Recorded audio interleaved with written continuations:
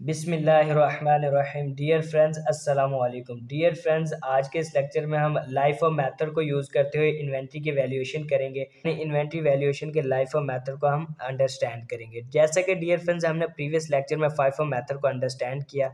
Dear friends LIFO method में क्या difference है? यानी लास्ट में हम जो मटेरियल परचेज करते हैं रिसेंटली जो परचेज करते हैं, उसे हम पहले सेल करते हैं। डियर फ्रेंड्स फ़र्स्ट हम फॉर्मेट को अंडरस्टैंड कर लेते हैं। एज इट इज़ ये है, जैसे कि फाइफो के लिए हम फॉर्मेट यूज़ करते हैं, वही हम लाइफो के लिए यूज़ करेंगे। यानी फ़र्स्ट डेट का कॉलम सेकंड रिसेप्ट का कॉलम थर्ड इशू का और फोर्थ बैलेंस का, ठीक है? ये, यही थ्री मेजर कॉलम जो कि आगे सब कॉलम्स में डिवाइड हो जाते हैं। यानी रिसेप्ट का आगे थ्री सब कॉलम्स में डिवाइड हो जाएगा, units per unit cost, total cost, इसी तरह इशू वाला units, unit cost, total cost और इसी तरह बैलेंस वाला कॉलम, यूनिट्स, यूनिट कॉस्ट और टोटल कॉस्ट। ओपनिंग बैलेंस जैसे कि हमें गिवन है तो वो हम बैलेंस में रिकॉर्ड कर लेंगे। यानी थ्री हंड्रेड का यूनिट्स हमारे पास ओपनिंग बैलेंस गिवन है, थ्री हंड्रेड यूनिट्स, ठीक है?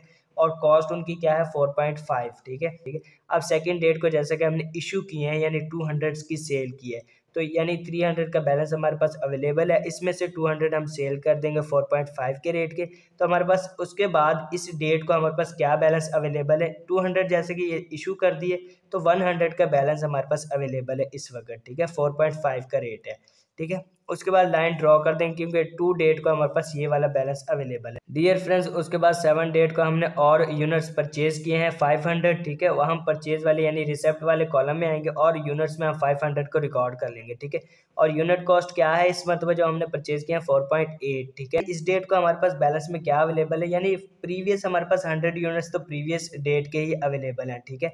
और हमने 500 यूनिट्स और परचेज किए हैं, इसी डेट को तो वो भी यहाँ पे बैलेंस में मेंशन कर देंगे। यानी 100 हमारे 4.5 के रेट के और 500 जो हमने अब परचेज किए हैं 4.8 के रेट उसके बाद डियर फ्रेंड्स यहाँ पर लाइन को मेंशन कर देंगे, ठीक है? नेक्स्ट डेट को, यानी थर्टीन को अब हमने इशू किए हैं फोर हंड्रेड यूनिट्स अब डियर फ्रेंड्स यहाँ पे हम जैसे कि लाइफो मेथड को यूज़ कर रहे हैं तो लाइफो मेथड में डियर फ्रेंड्स पहले हम रिसेंटली जो हमने मटेरियल परचेज किया होगा, जो हमने यूनिट्स रिसेंटली परचेज किए हैं, उन्हीं को पहले हम इशू करेंगे। तो यहाँ पर जैसे कि 500 हमने रिसेंटली परचेज किए, इन्हीं में से हम 400 को इशू कर देंगे, ठीक है?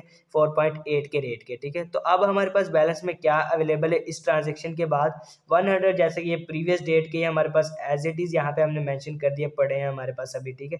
और वन हमारे पास इसमें से बैलेंस अभी बकिया रहेगा क्योंकि यहाँ पे फोर हमने इशू किए हैं, जैसे कि ये फाइव थे तो हमारे पास वन हंड्रेड का बैलेंस अभी और अवेलेबल है, ठीक है? उसके बाद नेक्स्ट डेट अब ट्वेंटी को हमने और यूनिट्स को परचेज किए हैं, जैसे कि फाइव यूनिट्स हमने और परचेज किए हैं फाइव के रेट पर।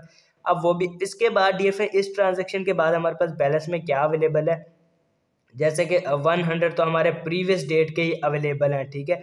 उसके बाद वन हंड्रेड ये भी हमारे पास अवेलेबल फाइव हंड्रेड हमने इस डेट को परचेज किए हैं, ठीक है? तो वो भी हम यहाँ पे मेंशन कर देंगे अपने बैलेंस कॉलम में, ठीक है? फाइव के रेट के। बाद लाइन को यहाँ पे मेंशन कर देंगे। डियर फ्रेंड्स ये लाइन क्या शो करती है कि ट्वेंटी डेट को हमारे पास ये वाला बैलेंस अवेलेबल है, ठीक है? उसके बाद नेक्स्ट ट्वेंटी एट डेट को जैसे कि हमने और इशू किए हैं four hundred and fifty units हमने इशू किए हैं। अब हम लाइफ ऑफ़ मैथड को यूज़ करें तो फ़र्स्ट हम नीचे से सेल करना स्टार्ट करेंगे। जैसे कि हमने recently five hundred units purchase किए हैं तो इन्हीं में हमारी सेल्स की वैल्यू कंप्लीट हो जाएगी, यानी फोर हंड्रेड एंड फिफ्टी इन्हीं 500 यूनिट्स में से हम इशू कर देंगे, ठीक है? तो इस ट्रांजेक्शन के बाद हमारे पास क्या बैलेंस में अवेलेबल है? हंड्रेड जैसे कि ये एज इट इज़ पड़े हैं, उसके बाद ये हंड्रेड भी एज इट इज़ पड़े हैं, और 500 में से जैसे कि 450 हमने इशू कर दिए तो हमारे पास 50 अभी भी अवेलेबल है, ठीक है? फाइव के रेट वाले, ठीक है? वो भी हम यहाँ पे मेंशन कर देंगे, ठीक है? डियर फ्रेंड्स अब उसके बाद जैसे कि हमारी और कोई ट्रांजेक्शन नहीं है। डियर फ्रेंड्स अब थर्टी फ़र्स्ट को हम क्लोजिंग बैलेंस कैलकुलेट कर लेते हैं। यानी टोटल परचेजेज हमने ड्यूरिंग द मंथ क्या की हैं? तो इन दोनों का आपस में ऐड कर देंगे। ट्वेंटी फोर हंड्रेड है प्लस ट्वेंटी फाइव हंड्रेड तो फोर्टी नाइन हंड्रेड हमारे पास आ गए, ठीक है? उसके बाद सेल्स ड्यूरिंग द मंथ हमने कितनी की है? इन तमाम वैल्यूज़ का आपस में ऐड कर देंगे। तो हमारे पास टोटल सेल वैल्यू क्या आती है? फाइव थाउज़ेंड सेवेंटी ठीक है? और क्लोजिंग बैलेंस यानी यही बैलेंस इन्हीं को आपस में ऐड कर देंगे तीनों वैल्यूज़ को जो कि हमारे पास ट्वेंटी एट डेट को पड़ा है बैलेंस हमारे पास वही हमारा क्लोजिंग बैलेंस है। तो क्या हमारे पास क्लोजिंग बैलेंस अवेलेबल है? एलेवन हंड्रेड एंड एटी का, ठीक है? तो डियर फ्रेंड्स इस तरह से हम कुछ रूल्स एंड रेगुलेशंस को फॉलो करते हुए LIFO method LIFO method को यूज़ करते हुए इन्वेंट्री की वैल्यूएशन करते हैं। डियर फ्रेंड्स अगर आज के इस लेक्चर से रिलेटेड आपके माइंड में कोई भी क्वेश्चंस हो तो आप कमेंट्स के थ्रू हमसे पूछ सकते हैं। डियर फ्रेंड्स आपसे एक छोटी सी रिक्वेस्ट है कि हमारे इस चैनल को लाइक कीजिएगा शेयर कीजिएगा और सब्सक्राइब कीजिएगा। डियर फ्रेंड्स हमें नेक्स्ट वीडियो तक इजाज़त दीजिए। अल्लाह हाफिज़।